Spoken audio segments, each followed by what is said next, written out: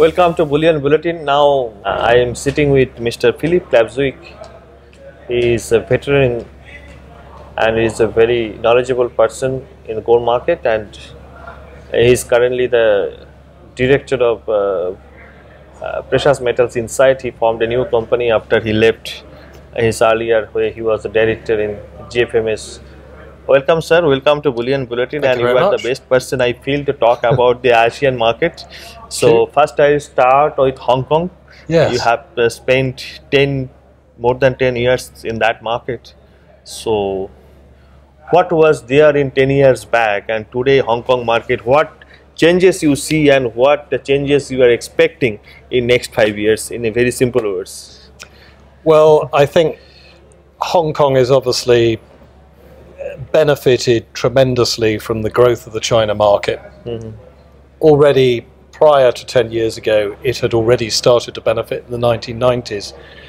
Uh, latterly, I think Hong Kong's role has perhaps started to be, I wouldn't use the word eclipse, but certainly challenged by developments in mainland China itself, uh, with Shanghai emerging as the key centre in the Asian time zone, and Hong Kong, to some extent, therefore being relegated to, to a sort of second division uh, compared to, let's say, what looks to be the future lineup of London, New York, and Shanghai. A lot of infrastructure development uh, has happened in London. For example, we have a Hong Kong Spot Exchange, uh, or what is this called? Ch- uh, CGAC. Uh, CGSE's Shanghai project with Yeah. Shenzhen. Uh, So, yes. and then we have a very strong jewelry chain. Mm, Uh, it's has very strong export market. yes. So it is competing well with. Well, I think Shanghai, to start with that, is quite an interesting um, way of potential, potentially continuing to maintain Hong Kong's relevance, uh, particularly in terms of linking China with the outside world. And it's also, I think, a means of bringing onto us, shall we say, a recognised and established platform in future uh, a lot of business that's currently conducted in, shall we say, sort of less formal channels or not on an exchange, uh, and where there are greater inefficiencies um, which can be ironed out through uh, the potential uh, Shanghai Hong Kong corridor. Uh, now, uh, little focus uh, just outside of Hong Kong now.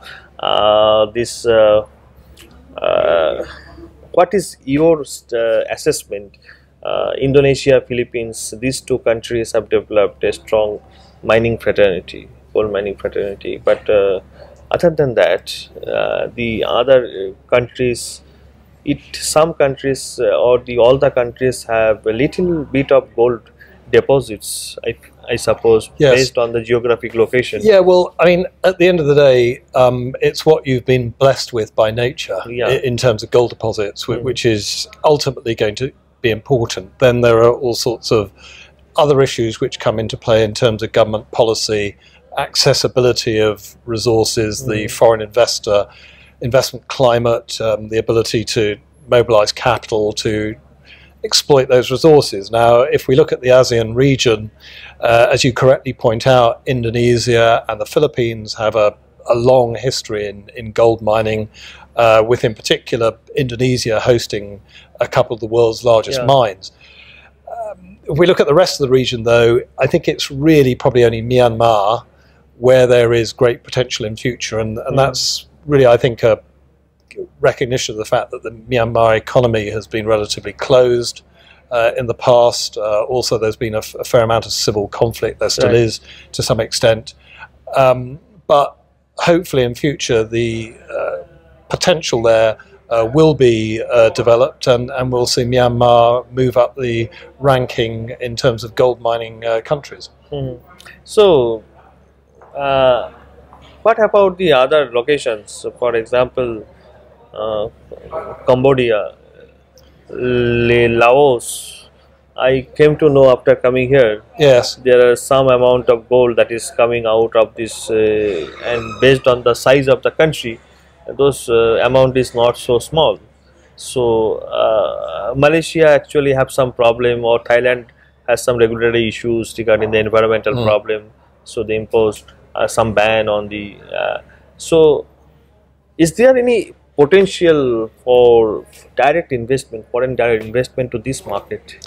Well, um, I think one would have to look at what sort of exploration companies are, are up to uh, in the region, get some idea of the potential perhaps for countries such as Laos or Cambodia. But you know, my understanding is that the if we look at where the potential gold resources are, they're, they're probably still rather more in the two countries you mentioned, Philippines and Indonesia, uh, particularly I think Indonesia, uh, and probably also that Myanmar has, has got some gold treasures that, that, that are potentially open for development in, in future. Whether there could be the odd project also in Laos or uh, or Cambodia, well, qu- quite possibly. I mean, after all, it's not as if there isn't gold mining in Thailand. Right. Although I think most people would say Thailand's never going to become a you know first rank or second rank even gold producer. So now coming uh, to an, uh, one step further as on the uh, financialization of the gold market and the infrastructure, financial infrastructure of the gold. So now talking, if I talk about Singapore, so what potential you are seeing? Lot of things uh, since the lift of ban on the 2012 on the investment gain gold on GST ban. So now we are seeing a lot of trade volume has increased. Uh, so what? Uh, where are you seeing Singapore in the next five years? Well, I, I think Singapore's quite well placed. Firstly, to be the prime, um, if you like, regional hub for the ASEAN countries. Um, Singapore brings a lot of advantages to the table in terms of uh, legal system, infrastructure that's fully developed here, banking system, finance. exactly. Uh, of course, you've got a refinery, uh, which is world class refinery, transport companies that are, are domiciled here. So you, you've got a package which is very appealing, uh, particularly in the context of other countries which, which don't have all of those sort of systems developed. So I, I think, firstly, um, it will be an important hub for refining uh, doré uh, and scrap gold from these countries. Uh, it can also send out uh, refined bullion products and, and probably also semis uh, to the investment and jewellery communities uh, in, in those ASEAN countries. I think, in addition, Singapore does have the possibility to play a wider role, not just within the region, but also further afield. Um, as a depository for uh, gold. Um, it's a very safe and good storage location for high net worth individuals, possibly also for institutions and even for central banks in future. So I think you know Singapore's got some pretty strong cards to play, um, but at the same time, I think it, it needs to play to its its strengths. Um, Singapore isn't, I think, in a, in in a hurry going to take away, for example, Hong Kong's very close relationship it has with the China market, which is very much a function of sort of links between companies that have feet in both Hong Kong and Shenzhen. Uh, it's a function of geographic proximity, of course, and the fact that you have a very established set of uh, working relationships between mainland China and Hong Kong, which is, is going to be very difficult, I think, uh, to disrupt and to move, uh, shall we say, further south. Uh, but I think in terms of ASEAN and in terms of the investor market, particularly perhaps the high net worth uh, and perhaps also fund investor uh, storage, physical gold storage market, I think Singapore's got uh, some very good cards, really. now it says China. Hmm. Uh, that economy has slowed down. Still, economy has gone big. So, 11% to 6%. Still, it is a very good number. I feel like that 6% growth of China is a very big. In this context, in the current context, with the growth of 6 to 6.5, uh, where do you see the demand of gold will remain in China?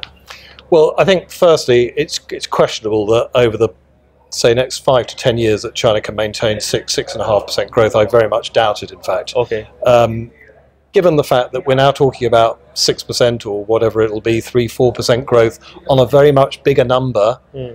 in terms of GDP, Yeah, absolute right. GDP. And also that this this is now quite a, in some respects, quite a mature economy. Yeah. Particularly if you look at the sort of major East Coast um, cities, uh, we're, we're, looking already at quite a high per capita GDP. It's a middle income country. So right.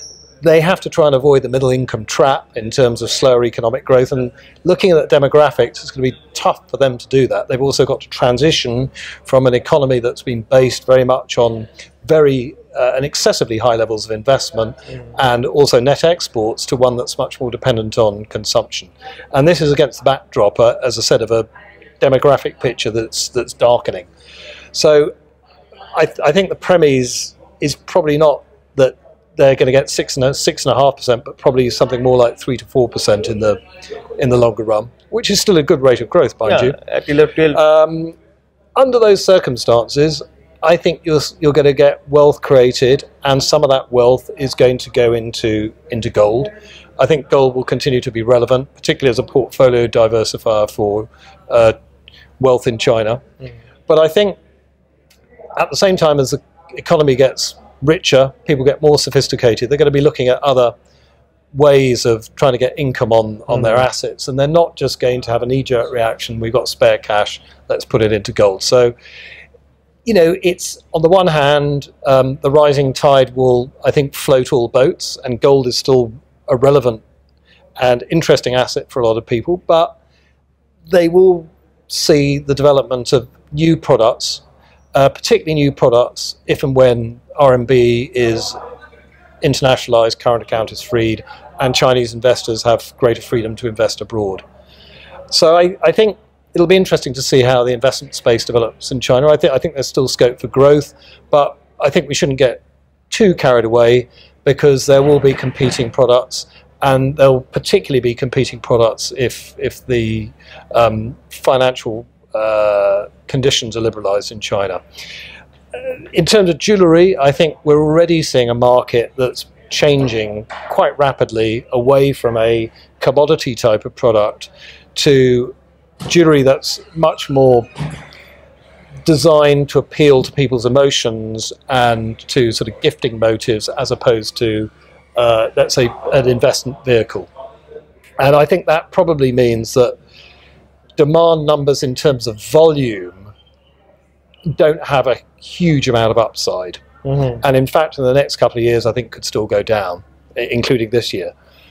Um, in terms of spend on jewellery, on the other hand, I, I, think there's you know scope for, for continued growth in the jewellery market, and people actually might make more money looking at the trade uh, than they've done recently with this you know very low margin commodity product where you know there's too much supply and it's difficult for a lot of people to make money on, on a you know very low margin commoditized product. So I think as the market moves to more higher added value products, uh, I think we'll have a healthier jewellery industry, which will make more profit. Uh, but the scope for volume growth will not be there the way it was in the 1990s and 2000s. The SBMA uh, repeat this next year. I think they've managed to probably carve out quite a nice niche for themselves. Mm-hmm uh, and it's very encouraging to see people from so many countries, uh, not just in the ASEAN region, but also further afield, you know, come together in this space and you know, listen to a lot of uh, interesting topics and speakers. Thank you, sir. I know you can continue full nights, kind of experience you have. Thank you. And I always have a desire to talk to you, but uh, it is a limited time for me and you Thank also. you very much. So I will be looking forward to talk to you. Bullion Bulletin will always look forward uh, to talk to people like you uh, who have contributed enough uh, hugely in the global precious metals market. Well, thank you very much.